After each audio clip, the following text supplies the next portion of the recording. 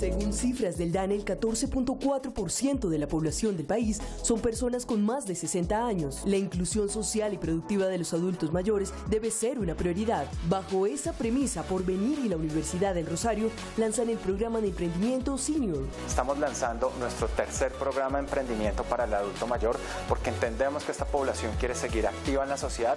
Vamos a desarrollar sus competencias emprendedoras, ejercicios de investigación y ejercicios de innovación abierta para convertir 300 sueños. Esto dentro del marco de nuestro observatorio, donde estamos entregando herramientas para que los adultos mayores tangibilicen esas ideas de negocio.